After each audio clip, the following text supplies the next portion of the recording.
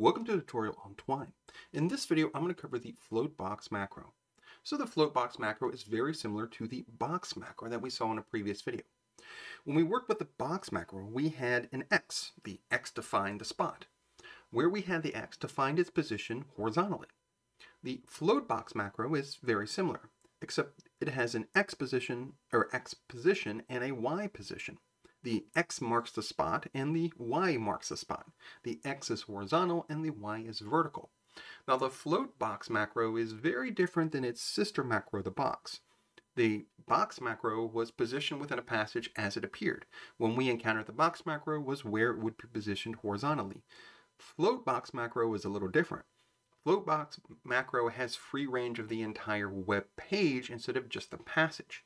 And so we can float it wherever we want it within a page. So let's look at this. So as I mentioned, when we work with the float box macro, we have X marks a spot, similar to its sister, the box macro. But we also have Y marks a spot. So it has X and Y. Now, float box is again a little bit different because it floats around the page, not just the passage. So X and Y are not just the default positions, they are the upper left-hand side of the page itself.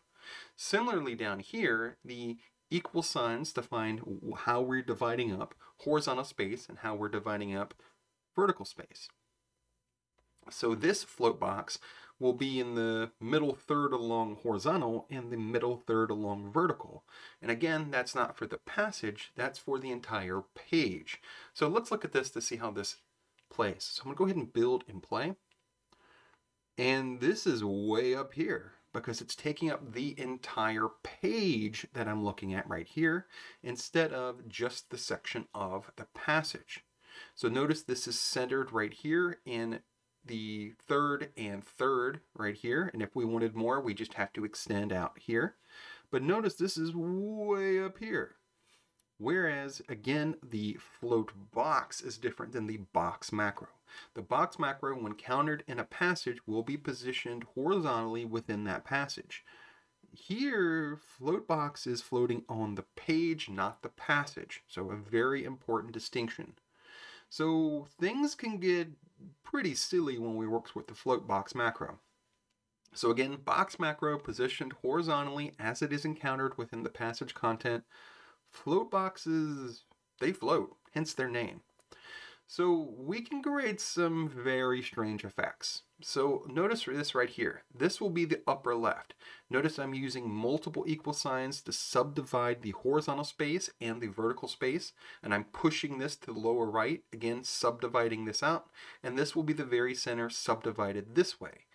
This will look a little weird. So let's go ahead and change the start over here to example two, build and play.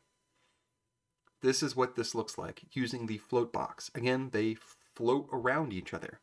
This is up here in the upper left. This is way down here in the lower right. This is in the very center, positioned within the columns we defined.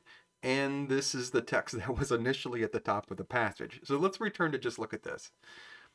The passage started like this, which is correct. That's This is within the passage space right here. And then it encountered upper left, which it stuck up here. And then it encountered lower right, which it stuck way down here. And then it encountered center, which it put right in the center. But notice center appeared third, but is over here, left is up here, and right is down here. So float box, again, allows us to define a box, a subsection, similar to what we saw with the box macro, However, hence its title, it floats around. So if we want to get a lot more creative about how we want to position things as subsections of a page or a passage, Floatbox really gives us that opportunity. Similar to what Box does as well, but Floatbox extends that by floating within the page itself. So notice we want things extended way up in the upper left or the center or the lower right. Floatbox allows us to do that. We just define its position, again, subdividing using the equal sign that we've seen with alignment, that we've seen with columns, that we previously saw with a sister macro box, now applied to Floatbox. Using X marks a spot and Y marks the spot, X for horizontal, Y for vertical. Again, keeping in mind that the position starts in the upper left-hand corner. That's something inherited from web browsers itself, extended into Harlowe. and we can position things however we want, keeping that in mind. So float boxes are a very powerful tool now in our increasing toolbox within Harlowe, allowing us to float a various subsection, a box, within the entire page outside of this space a passage is normally defined in within Harlowe. So instead of our text being kind of right here, we could put it upper left and lower right and extend it all over the place within here as a floating box within the page, a subsection within our content, within our stories in Harlowe 3.3. Thanks for watching.